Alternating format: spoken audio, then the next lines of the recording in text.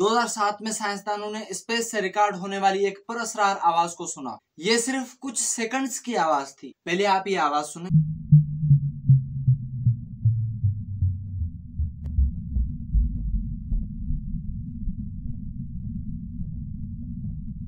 इस आवाज़ को फास्ट रेडियो बस्ट का नाम दिया गया और इसे मुख्तसर अल्फाज में एफ़ आर बी साउंड भी कहा जाता है। ये आवाज़ वैसे तो 2001 में ऑस्ट्रेलिया रेडियो डिश ने रिकॉर्ड की थी, लेकिन तब इन आवाजों को डिकोड नहीं किया गया। 2007 में जब इन आवाजों को डिकोड करके सुना गया, तब हमारे जहनों में बहुत सारे सवाल पैदा हो गए। इस आवाज़ पे अगर आप गौर करें तो ये दिल के धड़कने जैसी आवाज़ है। अब शुरू शुरू में हमें ये मालूम नहीं था कि आवाज़ कहाँ से आई और ये आवाज़ किस चीज़ की थी।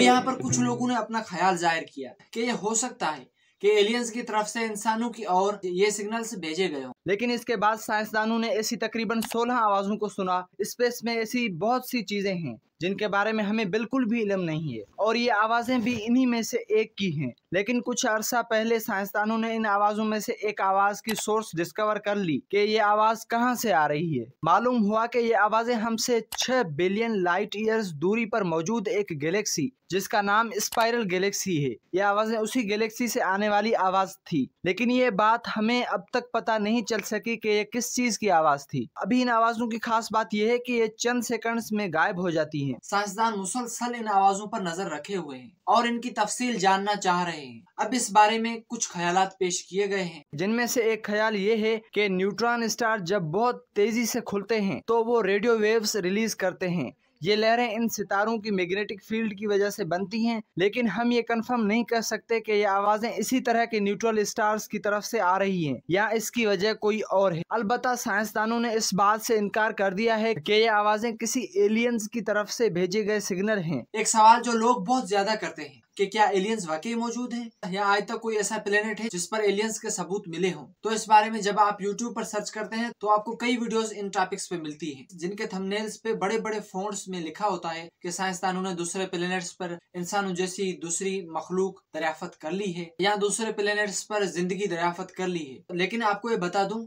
कि ऐसी वीडियोस और ऐसे दावे बिल्कुल झूठे हैं। आज तक ज़मीन के अलावा किसी और प्लेनेट पर ज़िंदगी का सबूत मिल ही नहीं सका कि हम कह सकें कि यहाँ पर मखलूक मौजूद है। अब हालाँकि इस बात के इम्कान ज़रूर हैं कि वहाँ पर मखलूक मौजूद हो सकती है, लेकिन ये दावा करना कि मिल चुकी है ये सरासर झूठ है। हमें ये शक ज़रूर है, हमारे सोलर सिस्टम में कुछ ऐसे प्लेनेट्स मौजूद हैं। जहाँ पर शायद कभी ज़िंदगी मौजूद थी, यानी कभी वहाँ पर कोई मखलूक मौजूद थी, जिसमें से हमारा सबसे बड़ा यकीन मार्स प्लेनेट पर है, जिसको हम सुर्ख स्यारा यानी कि रेड प्लेनेट भी कहते हैं। अब इंसानों ने चाँद पर लैंडिंग की। लेकिन वहाँ पर ना तो ज़िंदगी के सबूत मिले और ना ही कोई ऐसा सबूत मिला कि यहाँ पर कभी ज़िंदगी मौजूद थी। अब तक हमारी स्पेस क्राफ्ट सिर्फ़ वेनस पे और मार्स पे ही उतरी है और बाकी सेटर्न के एक मून पे भी उतरी है। इसके अलावा हमारी स्पेस क्राफ्ट ने बाकी सयारों के सिर्फ़ चक्कर ही लगाए हैं। यानी वहाँ पर उतर नहीं सके। किसी भी सयारे पर मखलूक की मौजूदगी का सही पता हमें तब लगेगा जब हम वहाँ लैंड करेंगे। अब मार्स प्लेनेट के बारे में हम ये जानते हैं कि कभी यहाँ पर बिल्कुल ज़मीन की तरह समंदर मौजूद थे। यहाँ झीलें और दरिया भी मौजूद थे। और आज तो इस सयारे पर इतनी ठंड होती है कि इसका टेम्परेचर माइनस सेवेंटी से minus one fifty three degree Celsius तक भी चला जाता है। लेकिन किसी दौर में यही स्यारा ज़मीन की तरह गर्म था। तब इसका टेम्परेचर भी ज़मीन की तरह नॉर्मल था। इसके अलावा इस सयारे पर कुछ ऐसी खाइयाँ मौजूद हैं, जहाँ पर बनने वाली लकीरें इस बात का सबूत देती हैं कि इन जगहों पर कभी मुसलसल पानी बहता रहा है। लेकिन वो सारा पानी अब कहाँ गया? अगरचे अभी बहुत कम मिकदार में, बर्फ़ की शक्ल में इस पे पानी मौजूद है। लेकिन वो सारा पानी कहाँ गया? इस बारे में ये ख्याल किया जाता है कि मार्स ने अपनी मैग्नेटिक फ़ील्ड खो दी, जिस वजह से इसका सारा पानी भाप बनकर उड़ गया। सो हम ये कह सकते हैं, जब मार्स पे पानी मौजूद था और उसका टेम्परेचर ज़मीन की तरह नॉर्मल था तो यकीनन यहाँ पर कोई मखलूक आबाद होगी। दूसरा प्लेनेट के जहाँ पर ज़िंदगी का सबसे ज़्यादा शक है वो है रात में सबसे ज़्यादा चमकता हुआ सयारा जिसे वीनस कहते हैं। ये सयारा अक्सर आपको चाँद के करीब करीब दिखाई देता है और शाम के वक्त यह सबसे ज़्यादा चमकता हुआ दिखता है। इस सयारे को जहनम का सयारा भी कहते हैं क्योंकि इसका टेम्परेचर बहुत ज़्यादा हाई है। मार्स प्लेनेट जितना ठंडा है ये इससे कई गुना गर्म है। ज़मीन पे आप शीशा पिघलाते हैं तो उसको पिघलने के लिए तीन डिग्री सेल्सियस की गर्मी चाहिए, लेकिन वीनस प्लेनेट पे दिन के वक्त टेम्परेचर चार डिग्री सेल्सियस तक पहुँच जाता है। यानी वहाँ पर शीशा पिलाए दीवार भी किसी काम की नहीं है। इस सयारे पर वो भी पिघल जाएगी। इस प्लेनेट पर हर वक्त तेजाब की बारिश होती है और इसका माहौल बेतहाशा कार्बन डाइऑक्साइड गैस से भरा हुआ है। अगर आपने गौर किया हो तो ज़मीन पर भी हम मुसलसल कार्बन डाइऑक्साइड गैस को बढ़ाते जा रहे हैं। मतलब कि हम मुसलसल पोल्यूशन बढ़ा रहे हैं। साइंसदानों का ख्याल है कि एक वक्त ऐसा भी आ सकता है कि बहुत ज़्यादा कार्बन डाइऑक्साइड की वजह से ज़मीन का भी माहौल वेनस के माहौल जैसा हो सकता है। इस सयारे पर तकरीबन पिचासी हज़ार वोल्केनोज यानी कि आतिश फिशा पहाड़ मौजूद हैं। जबकि ज़मीन पे सिर्फ़ साढ़े तेरह सौ एक्टिव वालकेंस मौजूद हैं। अब इन सारी बातों से हमें यह तो कंफर्म हो गया है कि भाई इस पे कोई ज़िंदगी मुमकिन नहीं लगती। क्योंकि इसका तो माहौल ही इतना खतरनाक है, फिर हम ये शक कैसे कर रहे हैं कि इस पे ज़िंदगी मौजूद हो सकती है? दरअसल इसके सरफेस से अगर आप 50 किलोमीटर की ऊंचाई पर जाएँगे तो जैसे जैसे आप ऊपर जाते जाएँगे, इसका टेम्परेचर कम होता जाएगा और 50 किलोमीटर की ऊंचाई पर इसका टेम्परेचर 20 डिग्री सेल्सियस से सैंतीस डिग्री सेल्सियस तक हो जाता है। ये टेम्परेचर बिल्कुल ज़मीन के टेम्परेचर जितना है वीनस की इतनी ऊंचाई पर मुनासिब माहौल की वजह से साइंसदानों को ये लगता है की यहाँ पर ज़िंदगी मौजूद हो सकती है। लेकिन याद रखें, ये सिर्फ़ हो सकती है बोला गया है। इसका मतलब ये नहीं है कि इस पर हमें ज़िंदगी मिल चुकी अगर सयारों को छोड़ के मून की बात की जाए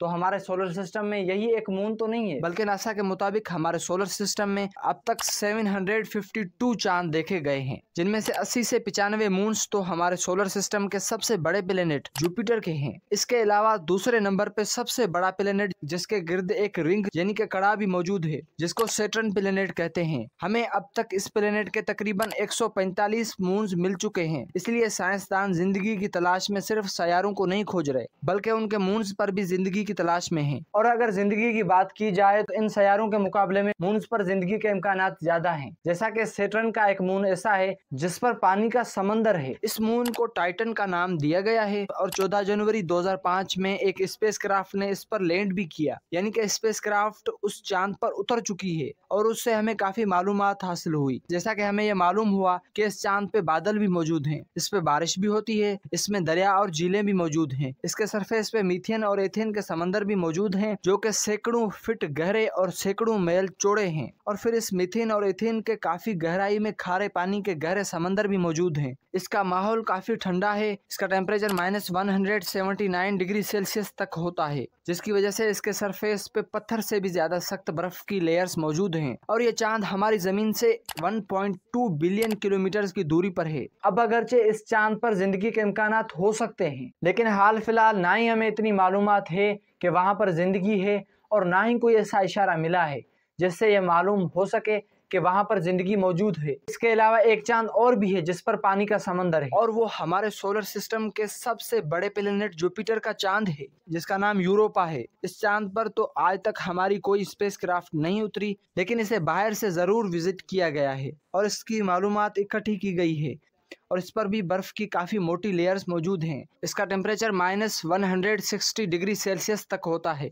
लेकिन इसकी भी बर्फ़ की लेयर के 15 से 25 किलोमीटर नीचे गहराई में खारे पानी का एक गहरा समंदर मौजूद है, जो तकरीबन 60 से 150 किलोमीटर की गहराई तक मौजूद हो सकता है। लेकिन चूँकि हम इस चाँद पर अभी नहीं उतरे, इसलिए हमें इसके बारे में ज़्यादा मालूम नहीं है। लेकिन साइंसदान मसलसल इस चाँद को मजीद एक्सप्लोर करने की कोशिश में है और नए नए मिशन भी इसके लिए तैयार कर रहे हैं। अब तक हमने जितने भी प्लेनेट्स और मून की बात की, इनमें से एक भी ऐसा प्लेनेट या मून नहीं है कि जिसपे हमें कोई मखलूक मिल सकी हो। ये चीज़ें मैं नहीं कह रहा, ये खिलाई इदारे और साइंटिस्ट कहते हैं। तो अगर आपको सोशल मीडिया पे कोई ऐसी बात मिले, जहाँ पर बड़े बड़े अल्फाजों में ये लिखा हो कि साइंसदानों को एलियंस मिल गए, या फिर इंसानों जैसी कोई और मखलूक साइंसदानों को मिल गई तो याद रखें कि ऐसी वीडियोस झूठ पे मबनी है। ये सारा कुछ व्यूज़ लेने के लिए फ्रॉड और धोखा है। स्पेस से रिलेटेड मजीद वीडियोस देखना चाहते हैं तो यहाँ पर क्लिक करके मेरी स्पेस पे बनी हुई प्ले लिस्ट को आप चेकआउट कर सकते हैं, जहाँ पर मैंने सारे क्रूड अपोलो मिशन को डिफाइन किया है। और यहाँ पर क्लिक करके आप ये बात जान सकते हैं कि सोवियत और अफगान की वार ने पाकिस्तान की इकोनॉमी पे कैसे असर डाला।